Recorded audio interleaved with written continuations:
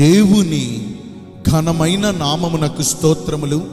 ఈ వాగ్దానమును వింటున్న మీకందరికీ మన ప్రభువును ప్రియ రక్షకుడైన యేసుక్రీస్తు నామములో శుభములు మా హృదయపూర్వకమైన వందనములు. ఈరోజు మీ కొరకైన దేవుని వాగ్దానము కీర్తనలు గ్రంథము ఇరవయవ కీర్తన ఐదవ చరణము. మన ప్రార్థనలన్నీ యహోవా సఫలపరచునుగాక.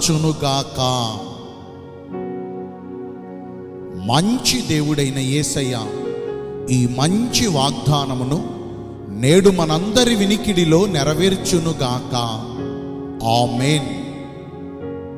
మన దేవుడు మన ప్రార్థనలను ఆలకించువాడు. మనము యుక్తముగా ఎలాగున ప్రార్థన చేయవలనో మనకు తెలియదు గాని ఉచ్చరింప శక్యము కాని మూలుగులతో ఆ ఆత్మదేవుడు తానే మన పక్షముగా తండ్రి కుడిపార్శ్వమందు కూర్చుండి విజ్ఞాపనమును చేయుచున్నారు. ఆయనకు మొర్రపెట్టు వారికి అందరికీ దేవునికి నిజముగా మొర్రపెట్టు వారికి అందరికీ ఆయన సమీపముగా ఉండి తన గుప్పిలిని విప్పి వారు కోరినవన్నీ వారికి దయచేసి వారిని తృప్తిపరుస్తారు. ఆయనను వేడుకున్న వారందరికీ మరింత నిశ్చయముగా మంచి ఈవులనిస్తారు. ఆమెన్ అనువాడు మన ప్రార్థనలన్నిటినీ సఫలపరచాలంటే మొదటిగా మనం ఆయన ఆజ్ఞలను గైకొనుచు ఆయన దృష్టికి ఇష్టమైన ప్రవర్తన కలిగి జీవించినప్పుడు మనము ఏది అడిగినను అవన్నీ ఆయన వలన మనకు అనుగ్రహించబడతాయి.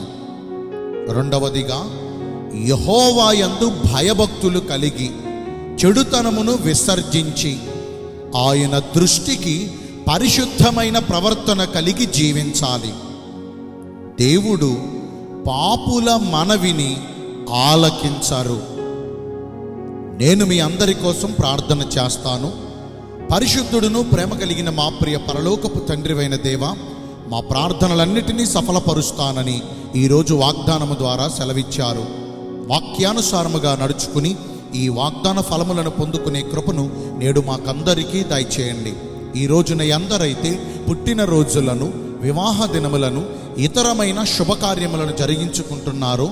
వారందరికీ మెండైన దీవెనలు కుమ్మరించమని మీరాకడ కొరకు మమ్మను సిద్ధపరచమని యేసుక్రీస్తు ప్రశస్త నామమున ప్రార్థించి వేడుకొనుచున్నాను. మా ప్రియ పరలోకపు తండ్రి amen may God bless you all thank you